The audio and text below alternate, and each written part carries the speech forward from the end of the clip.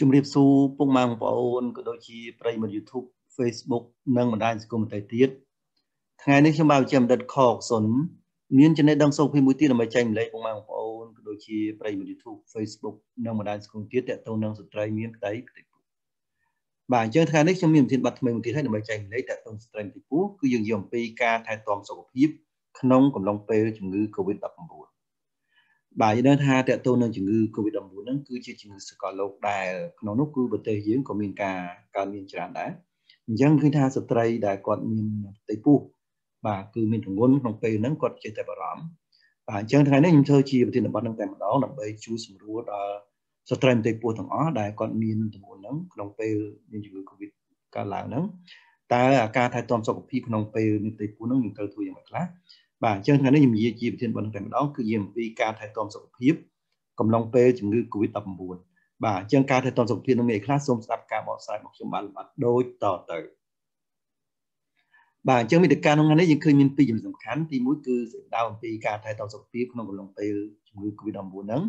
ហើយនឹងទី2គឺការថែទាំសុខភាពកំឡុងពេលជំងឺ Covid-19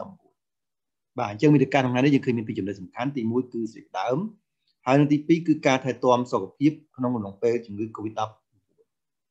បាទអញ្ចឹងខ្ញុំចង់ដឹងអំពីការថែទាំនឹងមានខ្លះសូមស្ដាប់ការបកស្រាយរបស់ខ្ញុំបានលម្អិតជាបន្តទៅទៀតបាទអញ្ចឹងយើងមើលទីដើមយើងឃើញថាការថែទាំសុខភាពឲ្យបានល្អប្រសើរបាទអញ្ចឹងការថែទាំសុខភាពឲ្យបានល្អប្រសើរគឺជាការចាំបាច់បាទគឺជាការចាំបាច់មួយក្នុងកំឡុងពេលជំងឺ Covid-19 ហ្នឹងពីព្រោះជាទូទៅយើងឃើញថាស្ត្រីមានទេពូដែលមានសុខភាពល្អ បាទអញ្ចឹងជាទៅយើងថាស្ត្រីមានទេពូដែលមានសុខភាពល្អគឺมันមានការប្រឈមខ្ពស់នៃជំងឺនឹងទេបាទគឺมันមានការប្រឈមខ្ពស់នៃជំងឺទេបើធៀបជាមួយនឹងមនុស្សពេញវ័យធម្មតាអញ្ចឹងមានថាបើយើងថែសុខភាពយើងបានល្អប្រសើរក្នុងពេលដែលមានទេពូហើយក្នុងពេលជំងឺ Covid-19 ដែរហ្នឹងបាទយើងឃើញថាស្ត្រីដែលគាត់មានសុខភាពល្អមានទេពូមានសុខភាពល្អបាទយើងឃើញថាมันមានការប្រឈមការឡើងទេឬក៏มันមានការប្រឈមខ្ពស់នៃជំងឺនឹងទេបើធៀបជាមួយនឹងមនុស្សពេញវ័យធម្មតា បាទអញ្ចឹងស្ត្រីខ្លះគាត់ចេះតែបារម្ភថាគាត់ទម្ងន់យើងអាចប្រឈមច្រើនប៉ុន្តែបើសិនគាត់ថែសុខភាពគាត់បានល្អបាទការប្រឈមនោះគឺมันមានច្រើនទេគឺដូចមនុស្សយើងធម្មតាទេបាទអញ្ចឹងប៉ុន្តែយើងត្រូវការពារដែរទាក់ទងនឹងការថែទាំសុខភាពនៅបានល្អហ្នឹងបាទអញ្ចឹងយើងមើលជាបន្តទៅទៀត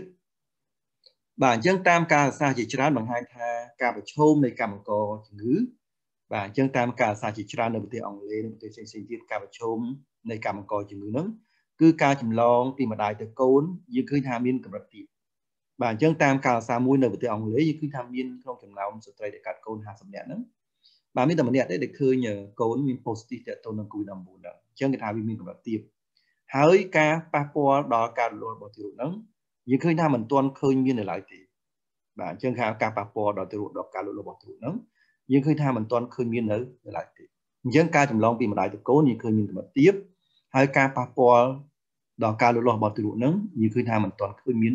ការប៉ះពាល់ណាមួយដែលកត់សម្គាល់ឃើញមានទេបាទនេះគឺតើតើនឹងសេរីផ្ដាំរបស់យើងដែលតើតើនឹងការថែទាំសុខសុខភាពបាទអញ្ចឹងមកជាបន្តទៀតគឺការថែទាំសុខភាពក្នុងកំឡុងពេលជំងឺ Covid-19 ទី1ដែលស្ត្រីមានតេពោះទាំងអស់គួរតែយល់ដឹងបាទអញ្ចឹងការថែទាំសុខភាពទី1ក្នុងកំឡុងពេលមានតេពោះហើយក្នុងកំឡុងពេលជំងឺ Covid-19 ដែរបាទគឺទី1គឺជៀសវាងកន្លែងដែលមានមនុស្សច្រើន បាទអញ្ចឹងកន្លែងដែលមានមនុស្សច្រើនគឺកន្លែងដែលប្រមុខដុំដូចជាហាងកាហ្វេបាទដូចជាផ្សារបាទហ្នឹងគឺកន្លែងជាកន្លែងប្រមុខដុំអញ្ចឹងកន្លែងឧទាហរណ៍ផ្សេងៗណាបាទអញ្ចឹងជាវៀងកន្លែងដែលមនុស្សច្រើនហើយនឹងប្រើប្រាស់បាទជាវៀងតើតងការប្រើប្រាស់មកជបាយធ្វើដំណើរសាធារណៈបាទព្រោះមកជបាយធ្វើដំណើរសាធារណៈគឺមនុស្សច្រើនដែរអញ្ចឹងអាចប្រឈមនឹងការឆ្លងជាច្រើនអញ្ចឹងការថែទាំសុខភាពទី1ក្នុងឡុងពេលជំងឺ COVID-19 ស្ត្រីទី4ហ្នឹងគឺជៀសវាងកន្លែងដែលមានមនុស្សច្រើន ហើយនឹងជីវៀងប្រើមធ្យោបាយធ្វើដំណើរសាធារណៈបាទនិយាយបន្តទៀតទី2គឺការថែទាំសុខភាពក្នុងកំឡុងពេលជំងឺ Covid-19 ដែរគឺស្ត្រីមានទីពោះគួរតែធ្វើអនាម័យអនាម័យដៃបាទគឺលាងសម្អាតដៃជាមួយនឹងសាប៊ូបាទឬក៏តេតងអាល់កុលបាទយើងអាចបានថ្មិចឲ្យបាន20វិនាទីឡើងទៅ20 30វិនាទីទៅបាទអនាម័យដៃលាងដៃនឹងសាប៊ូល្អបំផុតណាបាទអញ្ចឹងលាងដៃសាប៊ូបានញឹកញាប់ហើយនឹងធ្វើអនាម័យរាងកាយឲ្យបានឲ្យបានញឹកញាប់ បាទអញ្ចឹងការថែទាំសុខភាពទី2ក្នុងឡុងពេលជំងឺ Covid-19 ហ្នឹងគឺធ្វើអនាម័យដៃហ្នឹងហើយនឹងរាងកាយឲ្យបានញឹកញាប់បាទអញ្ចឹងអនាម័យដៃយើងត្រូវលាងដៃសាប៊ូបាទកខ្លះវាអាចខ្លាំងពេកបាទលាងដៃដែរស្ត្រីគិតដែរណាបាទអញ្ចឹងគឺតកតូនដល់អនាម័យយើងលាងដៃនឹងសាប៊ូបានញឹកញាប់បើមានអកលយើងអាចប្រើអកលបានដែរប៉ុន្តែត្រូវមើលដែរអកលខាត់ខ្លាំងបាទលាងដៃដែរគឺយើងត្រូវគិតដែរបាទនោះគឺការថែទាំសុខភាពក្នុងឡុងពេលជំងឺ Covid-19 ទីទី2 មកជាបន្តទៀតការថែទាំសុខភាពក្នុងកំឡុងពេលជំងឺ Covid-19 ទី3គឺប្រើម៉ាស់បាទអញ្ចឹងឥឡូវគេឲ្យប្រើម៉ាស់គ្រប់គ្នាណាតើតងការពាក់ម៉ាស់នៅទីសាធារណៈបាទហើយឬក៏ខ្ទប់ណាខ្ទប់ច្រមុះមាត់នៅពេលនិយាយបាទឬក៏กระดาษអីហ្នឹងណាយកកែគួយដៃខ្ទប់ណាកុំឲ្យវាដាច់សាយនៃមេរោគផងកុំឲ្យជួយការឆ្លងផងណាបាទបើសិនជាមានមេរោគនេះអានេះគឺតើតងប្រើម៉ាស់ល្អបំផុតគឺប្រើម៉ាស់ឬក៏ខ្ទប់ ច្រមុះមាត់នៅពេលនិយាយអានេះគឺជាការថែទាំសុខភាពទី3ក្នុងកំឡុងពេលជំងឺ Covid-19 យីមកជាបន្តទៀតការថែទាំសុខភាពក្នុងកំឡុងពេលជំងឺ Covid-19 ទី4គឺជៀសវាងទំនាក់ទំនងជិតស្និទ្ធអមថាយើងមានពួកម៉ាជិតស្និទ្ធនៅជំងឺជិតស្និទ្ធនេះពេលហ្នឹងគឺយើងបាទទៅទៅមិត្តភក្តិស្រីក៏ដោយជិតស្និទ្ធក៏ដោយហ្នឹងគឺយើងរក្សាកម្រិតសង្គមបាទអញ្ចឹងរក្សាកម្រិតឲ្យបាន1ម៉ែត្រកន្លះយ៉ាងតិចពីអ្នកជំងឺឬក៏អ្នកដែលសង្ស័យ បាទអញ្ចឹងឬក៏អ្នកដតីដែលយើងមិនដឹងក៏យើងត្រូវកម្រិតដែរណាកុំឲ្យជិតស្និទ្ធគ្នាពេកអានេះគឺវាអាចឆ្លងបាទអញ្ចឹងជៀសវាងទំនាក់ទំនងជិតស្និទ្ធគឺត្រូវរក្សាកម្រិតសង្គមហ្នឹងឲ្យបាន1ម៉ែត្រកន្លះយ៉ាងតិចបាទប្រទេសខ្លះក៏អាចដល់2ម៉ែត្រផងណាគឺយ៉ាងតិច1ម៉ែត្រកន្លះដែរ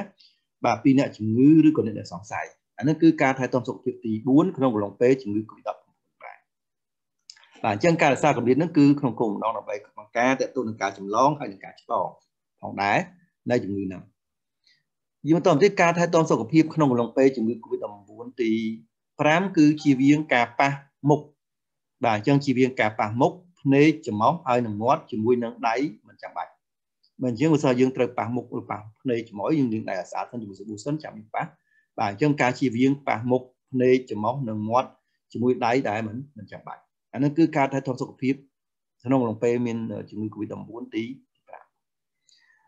យើងបន្តទៀតគឺការថែទាំសុខភាពក្នុងកំឡុងពេលជំងឺ Covid-19 មួយដែរគឺតកតងទី6គឺទទួលសេវាតាមការណាត់ជួបបាទអ្នកខ្លះគាត់ហ៊ានទៅពេទ្យទេដោយសារគាត់ខ្លាចចេះខ្លាចយកទៅណាបាទអញ្ចឹងយើងត្រូវទទួលសេវាតាមការណាត់បើសិនជាមានការចាំបាច់បាទបើសិនជាមិនសូវជាចាំបាច់ទេយើងអាច on call មានថាយើងអាចស៊ូសាកស៊ូពីពេទ្យតាមទូរស័ព្ទបាទបើសិនជាមិនចាំបាច់បើសិនមានសញ្ញាគ្រោះថ្នាក់អាហ្នឹងគឺចំពោះស្ត្រីទីពូគឺត្រូវតែជួបពេទ្យបាទអញ្ចឹងទទួលសេវាតាមការណាត់ជួបបើសិនជាការដែលចាំបាច់ បាទហើយនឹងការណែនាំរបស់ពេទ្យជាវាងការឆ្លងនិងចម្លងបាទអញ្ចឹងយើងត្រូវទទួលសេវាតាមការណាត់ជួបណាហើយនឹងទទួលយកនឹងការណែនាំរបស់ពេទ្យជាវាងការឆ្លងនិងការចម្លងអានេះគឺការថែទាំសុខភាពទី6យើងជាបន្តទៀតគឺការថែទាំសុខភាពក្នុងលំពេលជំងឺ Covid-19 ទី7គឺបើមានសញ្ញាហូរឈាមប្រកាច់គ្រុនក្តៅត្រូវផ្ដល់ដំណឹងដល់បុគ្គលិកសុខាភិបាលជាបន្ទាន់ណា បាទឬក៏មានគ្រុនក្តៅក្អកក្រដាសអីហ្នឹងណាថតដង្ហើមហ្នឹងជាសញ្ញាដែរយើងត្រូវអឺរីកាឬផ្ដល់ដំណឹងដល់បុគ្គលិកសុខាភិបាលជាបន្ទាន់យើងអាចរីកាទៅដល់លេខទូរស័ព្ទ115ឬក៏អឺមានអ្នកផ្ដល់ដំណឹងទៅដល់បុគ្គលិកសុខាភិបាលដើម្បីគេជួយណាថាអឺមិនថាទៅអឺពិនិត្យថែមទៀតដល់នឹងថាគាត់មានបញ្ហាអត់បាទអញ្ចឹងគឺតើតទៅនឹងការថែទាំសុខភាពក្នុងលោកពេលជំងឺ Covid-19 ហ្នឹងគឺបើមានសញ្ញាហូរឈាមប្រកាច់គ្រុនក្តៅណា ត្រូវផ្ដល់ដំណឹងដល់បុគ្គលិកសុខាភិបាលបន្ទាន់បាទអញ្ចឹងទាំងអស់ហើយគឺជាអ្វីដែលជាការថែទាំមួយដែលល្អក្នុងរងពេលជំងឺ Covid-19 នេះសម្រាប់ស្ត្រីមេតិពូដែលគួរតែយល់ដឹងទាំងអស់គ្នាបាទហើយបើសិនជាស្ត្រីមេតិពូគាត់មានបញ្ហាតិពូឬក៏ចង់តាមដានតិពូជាមួយនឹងសារីខ្ញុំយើងមានសេវាដល់សេវាដំណាក់ក្នុងលេខទូរស័ព្ទឯកសារគឺ088 3132 225 092 59 3350និង016 58 57 9 ហើយបើចង់រកទីតាំងខ្ញុំមាននយោបាយពីរអាច scan តាម QR code ឬក៏មើលតាមផែនទីផ្ទាល់បាទបើលោកស្រីគាត់មាន iPhone អាចចូលក្នុង App Store ស្វែងរកកម្មវិធី QR code reader តម្លើងកម្មវិធីនេះមកបើកម្មវិធីហ្នឹង scan លើ QR code យើងខ្ញុំគឺលោក Google Map ឃើញទីតាំងខ្ញុំហើយឬក៏លោកស្រីមិនមាន iPhone ទេមានទូរស័ព្ទផ្សេងក្រៅ iPhone យើងអាចចូលទៅក្នុង Google Play ឬក៏ Play Store ស្វែងរកកម្មវិធី Google Lens តម្លើងកម្មវិធីនឹងមកបើកម្មវិធីហ្នឹង scan លើ QR code ខ្ញុំក៏លោក Google Map ឃើញទីតាំង ឬលោកស្រីគាត់មាន smartphone ទេអាចមើលតាមផែនទីផ្ទាល់យើងអាចចូលតាម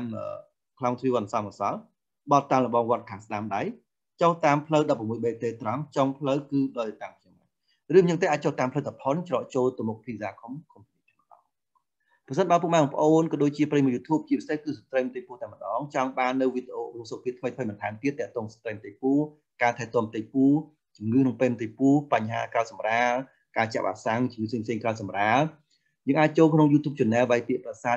search ស្វែងរកទៅពេលហ្នឹងគឺឃើញ logo របស់ខ្ញុំបានមកហើយចូលក្នុង channel ចុចពាក្យ subscribe និងយល់គុណដឹងបាទចុចពាក្យ subscribe នឹងប៉ុណ្ណឹងនៅពេលខ្ញុំផុសវីដេអូលើក្រោយនឹងឃើញក្នុងបណ្ដាញ YouTube ជាបន្តបាទអញ្ចឹងចូលក្នុង subscribe អ្នកមួយដើម្បីលើកទៅក្នុងការធ្វើវីដេអូជាបន្ថែមទៀតបាទសូមអរគុណ